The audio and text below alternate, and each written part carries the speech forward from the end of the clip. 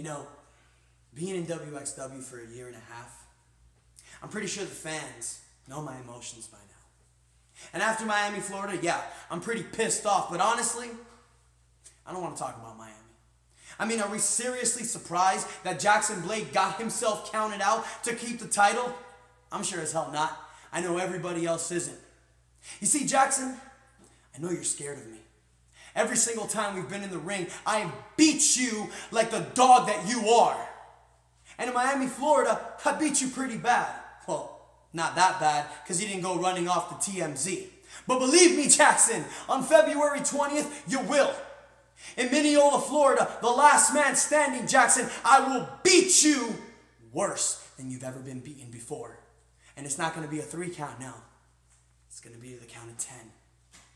Jaxen Blade, do you want to know why the fans cheer me and they don't like you? Believe me, it's not because of everything that you talk and you got a big mouth, because I got a big mouth myself. No. It's because nobody respects you as a man. Nobody respects the fact that you are a punk. You know where I'm going with this.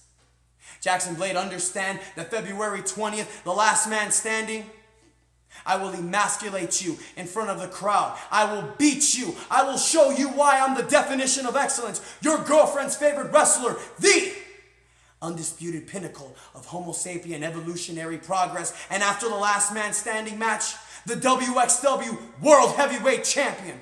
And that's not picture. No, that's enough said.